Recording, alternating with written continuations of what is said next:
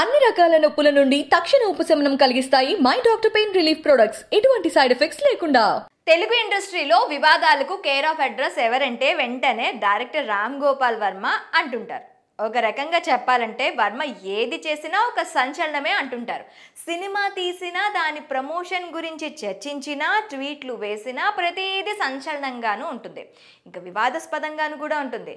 ఒకప్పుడు super hit చిత్రాలు తెరకెక్కించిన ఆయన ఇటీవల చెప్పుకోదగ్గ సినిమాలు ఏమీ చేయడం లేదని ఇండస్ట్రీలో టాక్ నడుస్తుంది. కానీ ఆయన చేసే ట్వీట్లు మాత్రం సోషల్ మీడియాలో తెగ హల్చల్ చేస్తూ ఉంటాయి.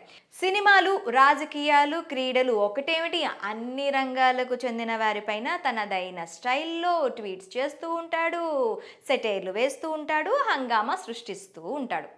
తాజాగా పవన్ కళ్యాణ్పై వర్మ సెటైరికల్ ట్వీట్స్ ఇప్పుడు నెట్టింట తెగ వైరల్ అవుతున్నాయి. రామ్ గోపాల్ వర్మ త్వరలో వ్యూహం చిత్రంతో ప్రేక్షకుల ముందుకు రాబోతున్నారు. ఈ మూవీకి సంబంధించిన ఫోటోలు టీజర్ ఇటీవల రిలీజ్ చేశారు. దివంగత ముఖ్యమంత్రి వైఎస్ రాజశేఖర రెడ్డి హెలికాప్టర్ ప్రమాదం తర్వాత ఏపీలో ఎలాంటి పరిణామాలు చోటు చేసుకున్నాయనే అంశాలపై ఈ సినిమా చూపించబోతున్నట్లు తెలుస్తోంది. రంగం ఫేమ్ అజ్మల్ ఈ సినిమాలో వైఎస్ జగన్ పాత్రలో నటిస్తున్నాడు. కాగా వ్యూహం సినిమాలో ఒక స్టిల్ని పవన్ కళ్యాణ్ కాపీ కొట్టారంటూ వామ ట్వీట్ చేశారు. ఏపీలో జరిగిన చంద్రబాబు ఎపిసోడ్ ఎంత ఉత్కంఠగా సాగిందో అందరికీ తెలిసిందే. స్కిల్ డెవలప్మెంట్ స్కామ్లో బాబు పద్నాలుగు రోజుల రిమాండ్కి తరలించారు. చంద్రబాబుని అరెస్ట్ చేసి విజయవాడ ఏసీబీ కోర్టులో అప్పజెప్పిన తర్వాత పవన్ కళ్యాణ్ విజయవాడకు వెళ్ళే ప్రయత్నంలో పెద్ద డ్రామా నడిచింది. హైదరాబాద్ నుంచి విజయవాడకు వెళ్ళే క్రమంలో పవన్ కళ్యాణ్ని పోలీసులు అడ్డుకున్నారు. దీంతో ఆయన కొద్దిసేపు నేలపై కూర్చొని పడుకొని నడుచుకుంటూ వెళ్ళడం లాంటివి చేశారు.